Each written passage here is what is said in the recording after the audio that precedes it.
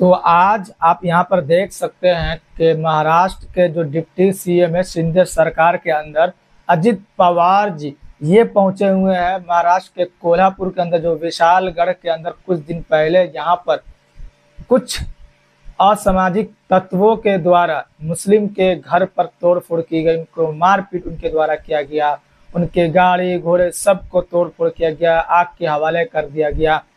वहाँ पर उनके मस्जिदों को तोड़फोड़ करने की कोशिश की गई। मस्जिद के अंदर बेहरमती की गई। तो उस जगह पर सरकार, शिंदे सरकार के अंदर, चीफ मिनिस्टर जो शिंदे सरकार है महाराष्ट्र के अंदर, उनके अंदर डिप्टी सीएम है अजित पवार, वो यहाँ पर निरीक्षण करने के लिए उस घटना स्थल पर पहुँचे हुए हैं। अजित पवार जो एनसीपी के सर्वोसरा है, वो एनसीपी जो पहले शरद पवार के हाथ में हुआ करती थी, लेकिन आज एनसीपी जो एन अजित पवार के हाथ में है, घड़ी का निशान, वो यहाँ पर पहुँचे हुए हैं जो देखने के लिए वाकई में क्या यहाँ पर स्थिति हुई थी, जो वीडियो सोशल मीडिया पर वायरल हुई, जो न्यूज़ चैनलों पर चला, वो सही में मतलब क्या स्थिति यहाँ पर है? तो यहाँ पर निरीक्षण करने के लिए सरकार के तरफ़ से खुद अजित पवार यहाँ पर पहुँचे हुए हैं अपने दल बल के साथ। और अभी बारिश का वहाँ पर सीज़न चल रहा तो आप यहाँ पर देख सकते हैं। सबसे बड़ी बात क्या है कि इसको दबाया जा सकता था और दबाने की हर मुमकिन कोशिश की जा रही थी, लेकिन एम आई एम जहाँ पर मज़बूत स्थिति में है और वो एम आई एम जो अवैसी साहब की पार्टी, अवैसी साहब के जो भी सिपा सलार है, वो मज़बूत स्थिति में महाराष्ट्र के अंदर है। और ये जहाँ घटना हुई कोल्हापुर के अंदर, विशालगढ़ के अंदर, वहाँ पर सबसे पहले कोई पॉलिटिकल पार्टी के नेता वहाँ अगर पहुँचा तो वो एमआईएम पार्टी का वारिस पठान साहब वहाँ पर पहुँचने का काम किया। और जितने भी नेता है, इम्तियाज़ जलील साहब और भी अन्य नेता, वो सब एक्टिव मूड में नज़र आए। इसको आवाज़ उठाने का काम किया सोशल मीडिया के द्वारा वहाँ के प्रशासन से मिलने का काम किया। इसको हर जगह आवाज़ उठाने का काम किया, खुद अवैसी साहब आवाज़ उठाने का काम किया। उसके बाद से सभी लोग इस पे एक्टिव हुए। उसका नतीजा है कि आज मतलब अगर हम बात करते हैं तो कल के डेट में जो अजित पवार जी के यहाँ पर टोटल हैंडल पर भी देख सकते हैं, जो एक्स हो चुका है एक्स पर, उन्होंने अपना कुछ फ़ोटो शेयर किया, जो वहाँ पर जाकर के लोगों से मिलने का काम किया। वहाँ पर जो पीड़ित लोग हैं, उनसे इन्होंने बात करने का काम किया। कितने का नुकसान हुआ क्या क्या तोड़ फोड़ वहाँ पर की गई, मस्जिद को तोड़ फोड़ की गई, घर को तोड़ फोड़ किया गया। और जिस चीज़ को तोड़ फोड़ किया गया, वो सबको देखने का काम यहाँ पर कर रहे हैं अजित पवार। उनके द्वारा बताया गया अजित पवार के द्वारा जो प्रेस कॉन्फ्रेंस के अंदर लगभग दो करोड़ पचासी लाख तक यहाँ पर नुकसान हुआ है। मतलब इतने रुपये का यहाँ पर गाड़ी घोड़े जो भी वहाँ पर फोर व्हीलर टू व्हीलर घर वगैरह सब मिला करके लगभग इतने 2.85 लाख का जो है यहाँ पर नुकसान हुआ है। यहाँ पर सबसे बड़ी बात क्या जो उस दिन हुआ, चौदह तारीख को और उसके बाद से वहाँ पर जाकर के तोड़ फोड़ किया गया। मस्जिद, सबसे बड़ी बात है कि मस्जिद को तोड़ फोड़ की गई, वहाँ पर जो विशालगढ़ के अंदर दरगाह है, उसको तोड़ फोड़ किया गया। मीनारों को तोड़ने की कोशिश की गई। मस्जिद के अंदर जाकर के कुरान शरीफ होते हैं, जरमाज होते हैं सब के साथ बेहरमती करने का काम किया गया। और ये सर्फ हुआ है तो ओवैसी साहब और एमआईएम पार्टी जो मज़बूत स्थिति में वहाँ पर डटे रहे, आवाज़ उठाने का काम किया। तब सरकार में जो डिप्टी सीएम है और सरकार के अंदर ये बात को पहुँचाने का काम किया गया, उसके बाद से सरकार के अंदर से, सरकार के विभाग से यहाँ पर लोग पहुँचे और छानबीन करने के लिए और यहाँ पर आंकड़ा जुटाया जा रहा है कि एग्जैक्ट कितना यहाँ पर नुकसान हुआ है, कैसे कैसे यहाँ पर तोड़ फोड़ किया गया है, प्रशासन भी अपनी तरफ़ से यहाँ पर काम कर रही है। और शासन, जो सरकार है, उनके तरफ़ से भी यहाँ पर काम किया जा रहा है, जो शासन की तरफ़ से, सरकार की तरफ़ से अजित पवार यहाँ पर पहुँचे हुए हैं। और यहाँ पर अजित पवार ने जो अपने ट्विटर पर एक्स पर जो ट्वीट किया, यहाँ पर मैं स्क्रीन शॉट लगा रहा हूँ, वो उन्होंने कहा कि वहाँ पर, यहाँ पर उन्होंने लिखने का काम किया और जो फ़ोटो वगैरह जो वहाँ पर गए थे, लोगों से वो जो पीड़ित लोग वहाँ, उनसे मिलने का काम किया गया।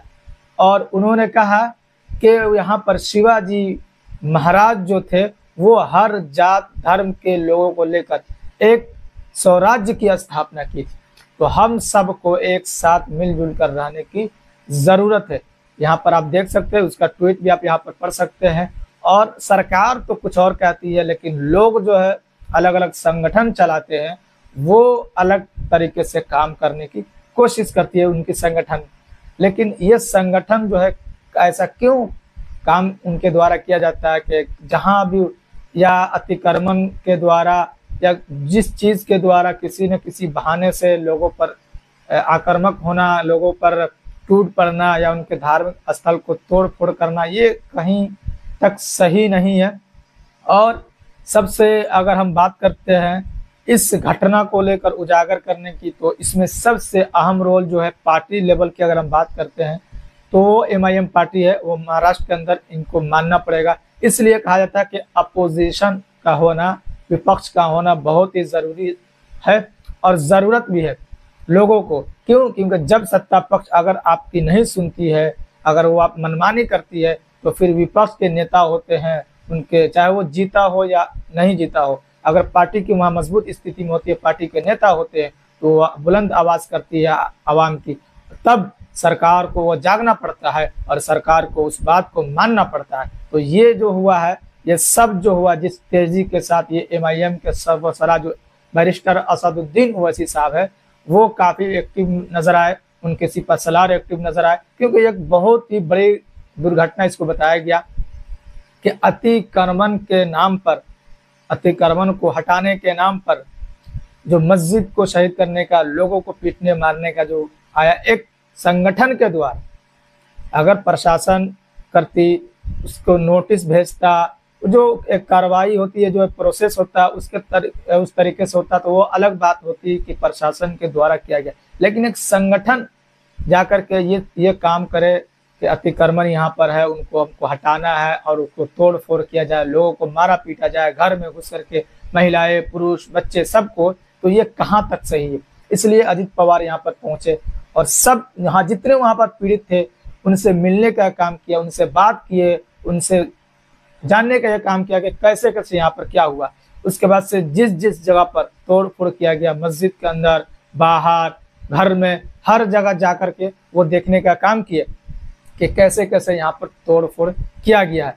तो ये मतलब पावर होती है विपक्ष की। अगर आप अभी देखें तो सरकार केंद्र में, जो कांग्रेस विपक्ष में राहुल गांधी बने हैं नेता प्रतिपक्ष तो वो जो आवाम की जो बातें हैं, वो सरकार तक पहुँचाने का एक ज़रिया बने हुए हैं। उसी तरीके से हर जगह, चाहे वो लोकसभा एक क्षेत्र हो, वहाँ पर भी अगर आपके एक जीता हुआ सांसद है और एक हारा हुआ सांसद अगर मज़बूत है वो, हारा हुआ सांसद एक्टिव है तो वो अपने क्षेत्र में न होने वाला काम को भी करा सकता है। वो एक्टिव हो करके उनसे लड़ करके, झगड़ सक, कानूनी तरीके से तो इसलिए कहा जाता है कि मज़बूत और दिल, दिलेर इंसान को आप नेता चुने और अच्छे पार्टी को अपने अपने यहाँ रखने का काम करे। तो ये जो पार्टी, जो एमआईएम पार्टी आपकी हर जगह बिना नफा, नुकसान सोचे समझे, आपके लिए हर वक्त हर पल खड़ी रहने का, खड़ी रहती है।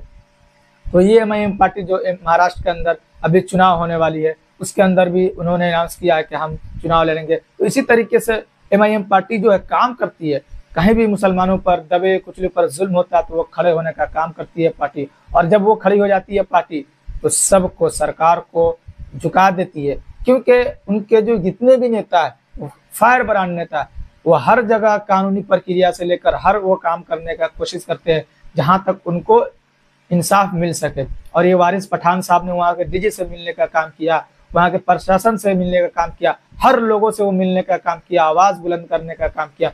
लास्ट अंत में ये हुआ कि सरकार को यहाँ पर आना पड़ा, सरकार को यहाँ पर देखना पड़ा कि कैसे हुआ, फिर कैसे इस पर आगे कार्रवाई की जाएगी। तो ये अपडेट जो कि आपको विशालगढ़, कोल्हापुर से आपको मैंने देने का कोशिश किया कि अभी का अपडेट यही है कि वहाँ पर शिंदे सरकार के डिप्टी चीफ मिनिस्टर जो कि अजित पवार यहाँ पर पहुँचे हैं और यहाँ पर जायजा लेने का उन्होंने काम किया। तो फिर आपसे मिलते हैं किसी और दिन, किसी और वीडियो के साथ।